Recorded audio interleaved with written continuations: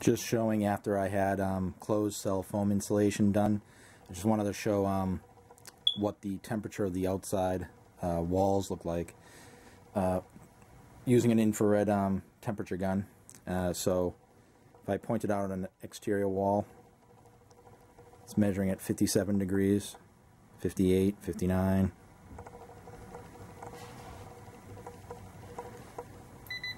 So that's untreated.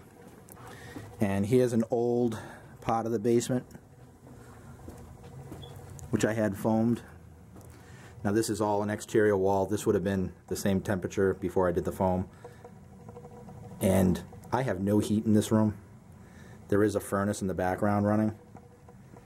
Hopefully you can see this. But I mean the temperature swing is pretty good.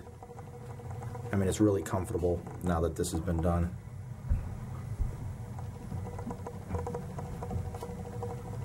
They did the rim joists.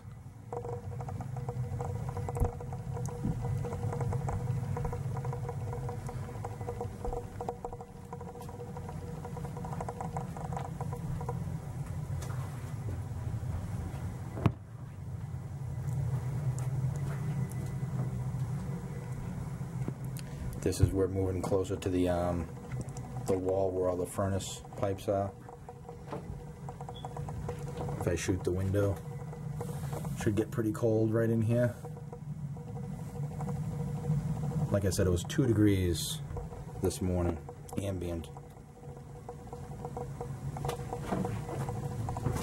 And now, of course, it's getting warmer because I'm getting close to my um, hydronic piping here.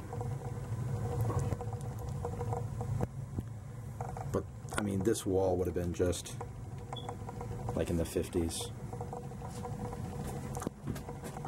This foam was really a good idea.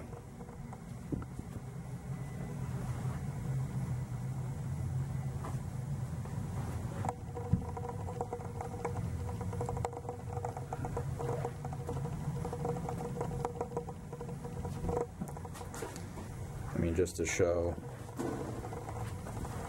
what this would um, measure. This is the um, dryer duct and I know there's some air leaking right around here so. If I point the thing right in there should drop pretty low. Some air coming in there. Well anyways that was the video. I just wanted to show the difference on you know right now it's seven degrees outside so it's gone up a whopping five degrees. But it was two and uh, I just can't believe how well this um, closed cell foam does.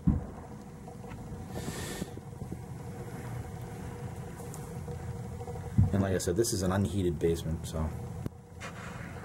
Alright, that's it.